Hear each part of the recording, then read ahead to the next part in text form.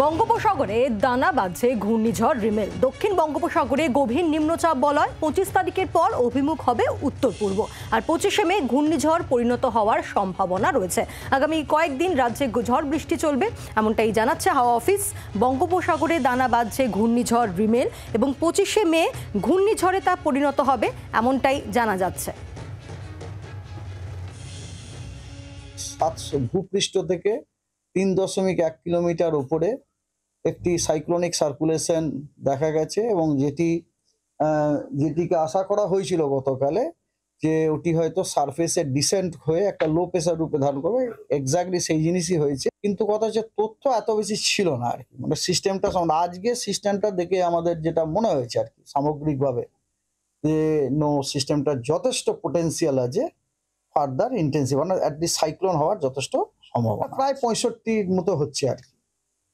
পঁয়ষট্টি kilometre per hour ছাব্বিশ তারিখ নাগাদ আপনার হওয়ার সম্ভাবনা আছে। বাংলার আওয়াজ, বাঙালির আবেগ। জি, চব্বিশ ঘণ্টা।